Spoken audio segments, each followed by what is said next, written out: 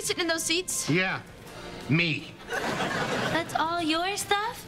Yeah, it's all my stuff, and I ain't moving it. Oh, that's cool. You don't have to move it. What the? Hey, that's my. What are you? Hey! Pick my stuff up and put it all back, or else. These seats are open. When he ran into the goalpost. So Dude, That's not true. And Is that the also, widow? it's not really the Yup. She was married to that rabbi who went over the cliff on Avernus Road.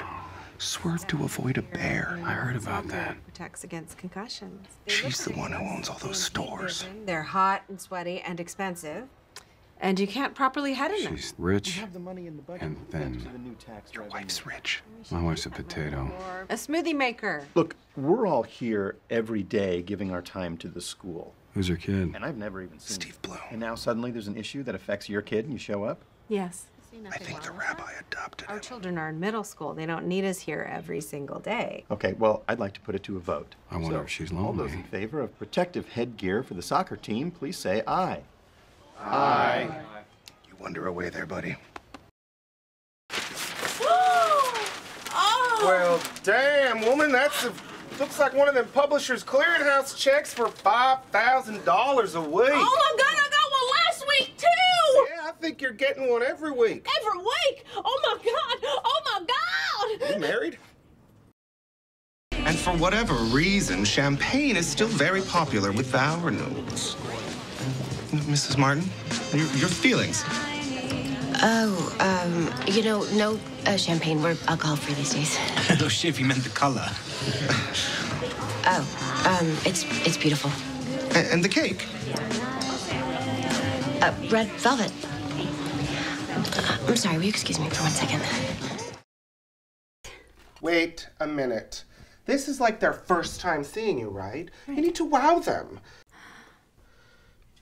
I'll introduce you. Great idea. okay. Okay, so back up a little bit. Ooh, I like that hat. Just wanna look my best. Maybe they'll want you to audition for something. Stop, That would be baby. amazing.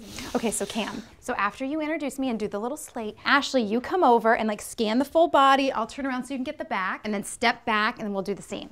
Okay, got it. Okay, cool. Let's do this. Got it. I'm gonna say introducing Sarah Schmilkinson. She is your waitress number two because you gotta show confidence. Representation coming soon.